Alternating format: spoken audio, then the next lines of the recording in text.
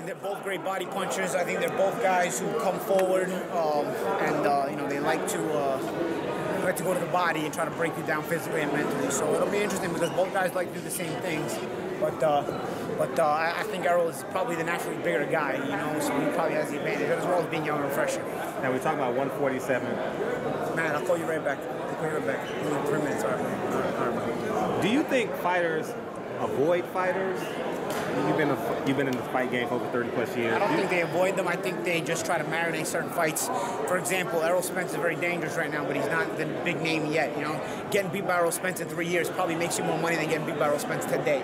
You know, so so I think um, if, if you're going to risk a fight against Errol Spence, you probably want to maximize it and monetize it as much as possible. So I think uh, fighters, are, uh, because this is a business, uh, try to make business decisions. And, uh, and, and I think when you don't see fights happening right away, because you're trying to maximize the risk, uh, monetarily maximize the risk you're going to take against a certain fighter. Who's the best at 47?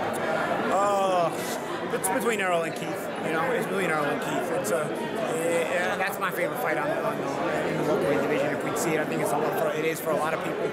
But um, you know, it, we'll see. We'll see how they, they, that things develop. We'll see how Keith comes back from the injury as well.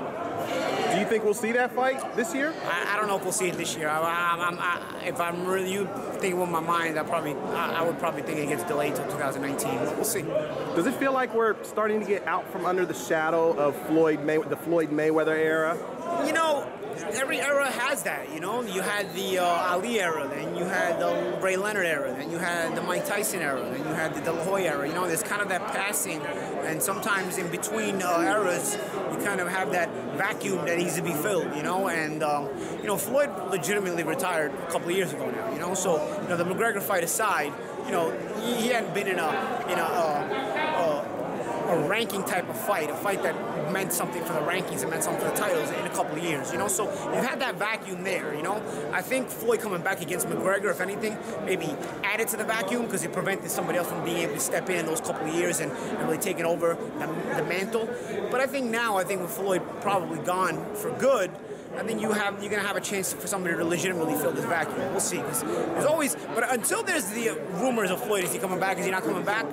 You know, you never, people never, people never take any, any the next era seriously. You know, because like, oh, Floyd comes back, it's Floyd. You know, so, but I think at this point, um, you know, you're gonna predict what Floyd Mayweather's gonna do. But I, I- think he's gonna retire for good. You know, I, and I think finally somebody else is gonna get the chance to kind of step in, and we'll see who that guy is.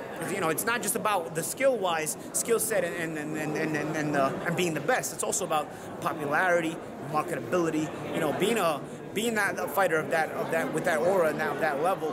There's a lot of things involved.